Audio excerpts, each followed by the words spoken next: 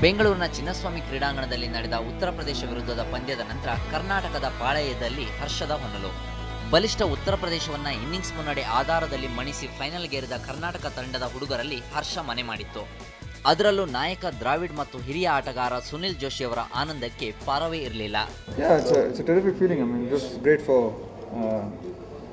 you know, I guess great for Karnataka cricket, great for a lot of the young boys in the team. Uh, you know, we've had some success this year. We've we had some tough years in the middle, and uh, so it's nice to see that uh, you know we made it to a final this year, and uh, and things are beginning to look up a little bit. ಖುಷಿ ಆಗುತ್ತೆ ಯಾಕಂದರೆ ಹತ್ತು ವರ್ಷದ ನಂತರ Ranji trophy finals ಬಂದಿದ್ದೀವಿ ಅಂತಂದರೆ ಕರ್ನಾಟಕದಲ್ಲಿ ಎಷ್ಟೊಂದು ಟ್ಯಾಲೆಂಟ್ ಇದೆ ಅಂತ ಇವಾಗ ಎಲ್ರಿಗೂ ಗೊತ್ತಾಗಿದೆ ಇಂಡಿಯಾಲೇ ಗೊತ್ತಾಗಿದೆ ಇಂತೆಲ್ಲ ಕರ್ನಾಟಕಕ್ಕೆ ದಿನಗಳು ಮುಂದೆ ತುಂಬ ಜಾಸ್ತಿ ಚೆನ್ನಾಗಿರುತ್ತೆ ರಂಜಿ ಟ್ರೋಫಿ ಖಂಡಿತ ನಾವು ಬರ್ತೀವಿ ಅಂತೇಳಿ ಅಂದ್ಕೊಂಡಿದ್ದೀನಿ ಹಾಗೇನೇ ಈ ತಂಡದ ಯಶಸ್ಸಿನ ಸೂತ್ರಧಾರಗಳಾದ ತಂಡದ ಸಪೋರ್ಟಿಂಗ್ ಕೋಚ್ಗಳ ಸಂತಸಕ್ಕೆ ಎಲ್ಲಿಯೇ ಇರಲಿಲ್ಲ. ಕರ್ನಾಟಕ ತಂಡದ ಮಾಜಿ ಆಟಗಾರರು ಕೂಡ ಆಗಿರುವ ಕೋಚ್ ಸನತ್ ಕುಮಾರ್ ಮತ್ತು ಸಹಾಯಕ ಕೋಚ್ ಸೋಮಶೇಖರ್ ಶಿರುಗುಪ್ಪಿ ಆಟಗಾರರಿಗಿಂತ ಭಾರಿ ಖುಷಿಯಾಗಿದ್ರು. ತಮ್ಮ ಶ್ರಮ ಸಾರ್ಥಕವಾದ ಧನ್ಯತೆ ಈ ಕ್ರಿಕೆಟ್ ಗುರುಗಳಲ್ಲಿತ್ತು.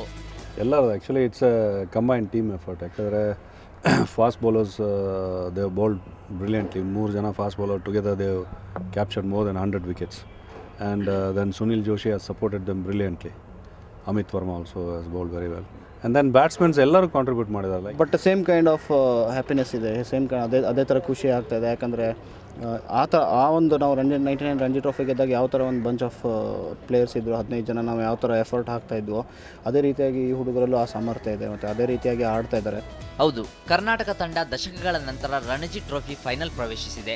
ಅದರಲ್ಲೂ ಈ ಬಾರಿಯ ಸೀಸನ್ನಲ್ಲಿ ಡ್ರೀಮ್ ರನ್ ಮುಂದುವರಿಸಿರುವ ಕರ್ನಾಟಕದ ಯುವ ಪಡೆ ಹಿರಿಯರ ಮಾರ್ಗದರ್ಶನದಲ್ಲಿ ಆಡಿರುವ ಎಂಟು ಪಂದ್ಯಗಳಲ್ಲಿ ನಾಲ್ಕರಲ್ಲಿ ನಿಚ್ಚಳ ಜಯ ಸಾಧಿಸಿದೆ.